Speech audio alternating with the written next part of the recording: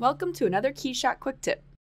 In this video, we'll talk about setting up favorites in your KeyShot library. The Favorites tab is where you can organize commonly used resources and create collections for a faster workflow.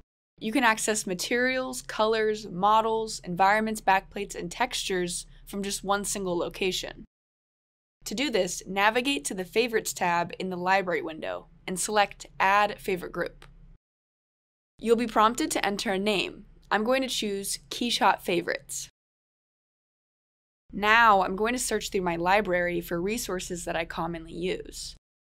For example, I use polished chrome a lot, so I'm going to right click on that material and hover over Add to Favorites, then select the Keyshot Favorites group I just created.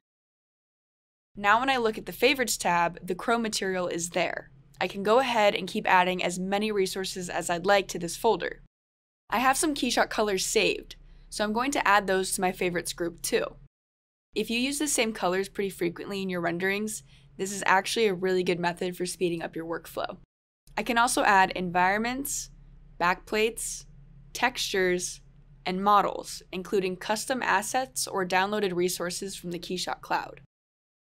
Now when I have a model, I can quickly apply my most commonly used assets and get my entire scene put together much faster. So with just a few clicks, I've sped up my workflow immensely. And if you want to do the same, make sure to check out the Favorites tab in Keyshot. Thanks for watching this Keyshot Quick Tip.